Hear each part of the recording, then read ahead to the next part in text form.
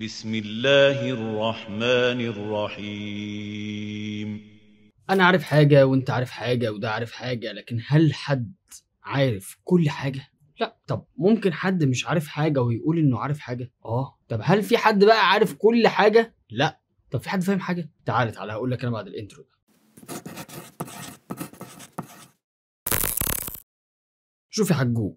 حجوج دي دلع حج يعني أنت حج وبدلعك فبقول لك يا حجوج شوف يا ريس إحنا عندنا نظرية كده أكيد سمعت عنها اسمها نظرية المعرفة. وعشان لو مش فاكر يعني إيه النظرية دي فأنا هقولها لك بسرعة. دي نظرية كده بتهتم بالإدراك الإنساني اللي هو الإنسان مدرك إيه وإزاي وبتهتم بكل حاجة عنه تقريبا. مصادر المعرفة عند الإنسان بقى وقيمة الإنسان نفسه. من الآخر كده يعني بتهتم بدراسة إيه هي الحاجة اللي من خلالها نقدر نعرف بعقولنا حقيقة الكون والطبيعة والإنسان وإيه هي الأدوات الصحيحة اللي بيها نقدر نعرف الكلام ده. وإيه بقى قيمة الأدوات اللي إحنا بنعرف بيها دي وأدوارها في تحصيل المعرفة. اتلخبطت. صح؟ ولا يشغلك أي حاجة مش عاوزك تحس بلخبطة خالص. بص يا ريس إحنا عندنا كون وطبيعه وإنسان. عاوزين نعرف بقى الثلاث حاجات دول هنعرفهم إزاي؟ أكيد عن طريق العقل. حلو. العقل ده بقى هيعرفهم إزاي لوحده كده؟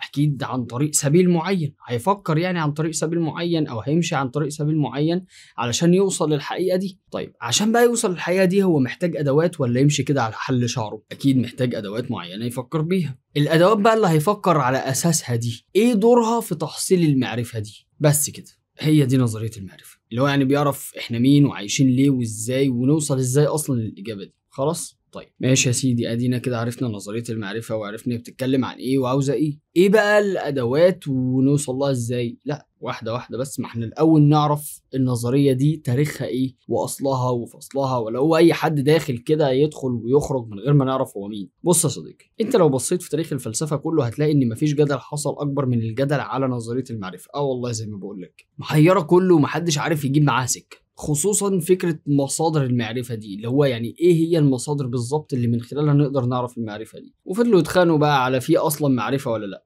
يعني واحد مثلا يقول لك آه طبعا في معرفة وفي مصادر كمان تقدر توصلنا للمعرفة دي. والدليل إن إحنا بنعرف حاجات كتير جدا عن طريق البحث والاستدلال والتفكر. واحد تاني يرد ويقول لك لا ده مفيش أصلا مصادر بل مفيش أصلا حاجة اسمها معرفة. آه ولا عمرنا هنوصل للمعرفة لأن إمكانياتك محدودة جدا كإنسان ومستحيل تعرف الحقيقة الكاملة. نخلص من الخناقة دي نخش في خناقة تانية يتكلموا في مصدر المعرفة. واحد يقول لك آه إن العقل هو المصدر الوحيد والرئيسي في المعرفة. ودول جماعة كده اسمهم العقليون. قام رد عليهم مجموعة تانية اسمهم التجريبيون وقال لك لا مفيش معرفة إلا بعد تجربة لازم تجرب الأول عشان تعرف الحاجات دي صح ولا غلط. جه بعدهم بقى مجموعة تالتة كده وقال لك بس يا جماعة اهدوا كده وخلينا نقسم الأرض نصين، وجمعوا بقى ما بين العقل وما بين التجربة، وقال لك والله ما هنزعل حد فيكم. المهم يا سيدي ده باختصار كده يعني نظرية المعرفة وشوية آراء واختلافات فيها زي الثلاثه اللي قلناهم من شوية دول. هديت الدنيا بقى وعدى وقت كبير والحمد لله. يسكتوا بقى على كده؟ لا إزاي؟ جه التيار الالحادي الجديد في المدة الأخيرة دي وطرح نظرية المعرفة عشان تعرض على الساحات من تاني ويعرض مشاكلها من تاني ويفضلوا يمسكوا في بعض تاني. وبدأوا بقى يعرضوا كل حاجة فيها مفرداتها وتعريفها وطرقها إزاي وحدودها فين وردوا كمان على باقي المدارس اللي بتتكلم عن نظرية المعرفة بصور مختلفة عن نظريه طيب هتقول لي لحظة هنا بس احس كده عشان أنا عايز أفهم حاجة. هو ليه أصلا التيار الإلحادي الجديد يركز قوي كده في حاجة اسمها نظرية المعرفة؟ هو ماله مالها أصلا؟ ما يخليه في الحوار الوجود بتاعه ده. أقول لك لا يا صديقي أنت لازم تركز أكتر من كده معايا.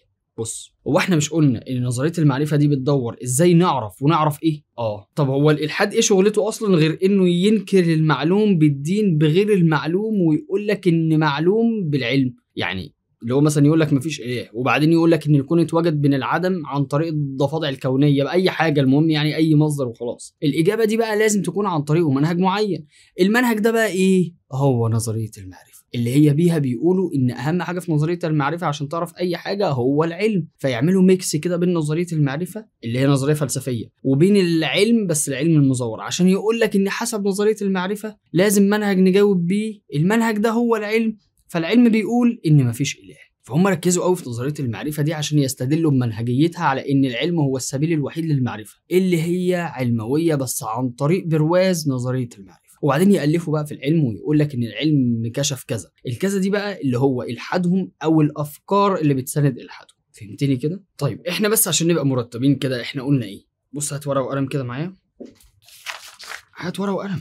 قلنا واحد إيه هي نظرية المعرفة؟ اتنين تاريخ نظرية المعرفة. تلاتة. علاقة الإلحاد بنظرية المعرفة. كويس. ارمي بقى الورقة دي على جنب كده وركز معايا. دلوقتي بقى إحنا عاوزين نسأل سؤال مهم جدا والسؤال ده هيربط كل اللي فات ده ببعضه فركز معايا شوية. هل العلموية ومنهجها يقدر يثبت فعلا إن العلم قادر إنه يكون ملم بكل المعرفة أو إنه يكون السبيل الوحيد الموثوق للمعرفة؟ يعني هل منهجية العلموية أو فكر العلموية يقدر هو نفسه يثبت إن العلم أصلا يقدر يجاوب على كل حاجة في الدنيا. وخلي بالك أنا هنا مش بسألك العلم يقدر يجاوب ولا لأ أنا بقول لك حتى نظرية العلموية اللي المفروض من خلالها بيقولوا كده. هي نفسها أصلا بتقول كده. وبتقول كده ديت بمعنى بتثبت ده فعلا ولا لأ مش اللي هو واحد علموي يطلع يقول لك آه وخلاص. وهنا عشان نجاوب السؤال ده هنسأل سؤال تاني مهم وأهم. بعد إذنكم يعني معلش تجاوبوني بس يا شوية علمويين أنتوا. ممكن أنت وهو تقول لي إيه الدليل إن العلم هو السبيل الوحيد لمعرفة الحقيقة؟ طبعا استغربت ولسه مش مستوعب السؤال قوي ها؟ لأن دليلك على اي حاجة في الدنيا هو العلم أصلا. طيب إيه بقى الدليل على ان العلم ده هو السبيل الصح أصلا علشان اعرف الحقيقة؟ يعني إيه الدليل ان العلم أصلا يقدر يجاوب أو ان العلم أصلا صح 100% طبعا لو جبتك ان العلم هو الدليل على ان العلم هو الحق الوحيد هقول لك أكيد انت عارف كويس ان مفيش شيء بيكون دليل على نفسه. فايه بقى الإجابة؟ ها أنا مستنيك تجاوب. طيب هجاوب لك أنا عشان ما تتحركش أكتر من كده. العلمويين يا صديقي لما سألوا فعلا السؤال ده جاوبوا بإجابة غريبة جدا وهي إن الدليل على إن العلم هو الطريق الوحيد لمعرفة الحقيقة إن العلم مفيد. آه والله هم قالوا كده فعلا يعني. هقول لك أنا. هو مش العلم مفيد وأفاد البشرية وسهل الحاجات الصعبة وخلى كل حاجة بقت سهلة وبسيطة للبشر؟ أهو أفاد البشر. وعلى فكرة ده كبار العلمويين قالوا الكلام ده مش اللي هو يعني كام واحد مثلا اتسأل وخلاص لا ده واحد كده يعني ناس من أكبر العلمويين اللي المفروض في العالم. ومن أشهر اللي اتكلم في الموضوع ده مثلا روز بينبرج في كتابه الشهير عن الإلحاد والعلم. بيقول في إيه؟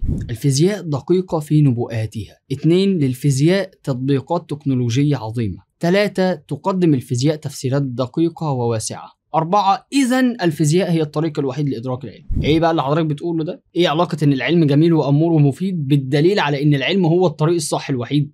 مش فاهم. يعني أنا ما سألتكش عن نتائج العلم ولا بقول لك العلم ده جميل ولا لأ. أنا بقول لك إيه الدليل إن العلم هو الطريق الوحيد للإجابات الصح؟ أو إيه الدليل على إن العلم هو الطريق الوحيد والأوحد الموثوق في العالم؟ فإيه علاقة إجابتك؟ ما ينفعش أقول لك ليه العلاج ده مفيد للمفاصل تقول لي والله لونه أخضر وشكله كده مريح للعين. وبعدين أنت خدته قبل كده ونيمك نوم عميق جدا. إيه علاقة الإجابة دي بالسؤال اللي أنا بسأله أصلا؟ وفكرة إنك تقول لي علشان نتائج الفيزياء دقيقة جدا وصحيحة يبقى كده ده دليل على إن العلم هو الطريق الصح؟ الكلام ده غلط. عاوز أقول لك إن كلامك ده أصلا علميا غلط. ليه؟ ليه؟ لأنك لو رجعت معايا كده لورا شوية هنلاقي إن في كل عصر كان العلم بالنسبة له صح 100% وبعدين العصر اللي بعديه يقول إن اللي فات ده كان غلط وهو ده الصح دلوقتي. و100% برضه سبحان الله. يعني مثلا مثلا أديك مثال كده واقعي عشان نستوعب الموضوع شوية. إحنا كلنا عارفين مثلا إن فيزياء نيوتن كانت في وقت من الأوقات هي الحقيقة الراسخة واللي ما فيهاش جدال لدرجة إن لعدة قرون كان الفيزيائيين بيقولوا متفقين كمان على إن فيزياء نيوتن وضعت الأصول اليقينية للفيزياء. الكلام ده صح؟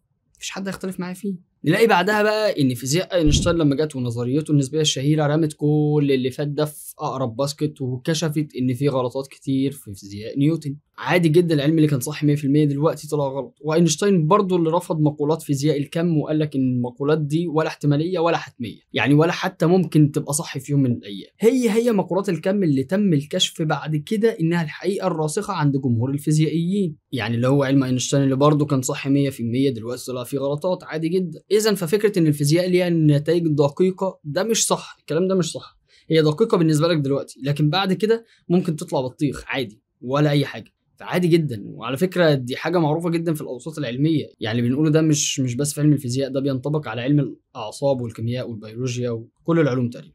إيه ده حس يعني أنت عاوز تقول إن العلم ملوش لازمة؟ لا طبعا. أنا عاوز أقول لك إن العلم لا يمكن ينفع يكون مصدر وحيد موثوق للمعرفة. بالدلائل العلمية نفسها اللي بتقول كده. لكن العلم ده زي الفل. وهو اللي ربنا أمرنا كمان إن إحنا نتعلمه. ده ما فيهوش أي مشكلة. وعاوز أقول لك حاجة مهمة قبل ما نقفل. النظرية العلمويه للعلم اللي هي يعني إن العلم هو الكل في الكل وما بيغلطش. مش هي خالص اللي خلت العلم مكانه. العلم كده كده يا جدعان مكانته عالية في نفوس الناس من قبل العلموية نفسها ونظرياتها دي. العلم عالي وقيم بإنجازاته وفايدته للبشر. فإحنا بننتقد النظرة العلموية للعلم مش العلم نفسه. بس فيا رب كده تكون بقى الدنيا وضحت لحد دلوقتي. بس يا سيدي. كفاية بقى كده النهارده عشان تشوف تلحق تروح أنت رايح فين كده. بس استناني أنا هجي لك الأسبوع الجاي مش هتأخر عليك إن شاء الله. like بقى و comment و share ويعني مش تخسر حاجة. الكام زر اللي تحت دول. السلام عليكم.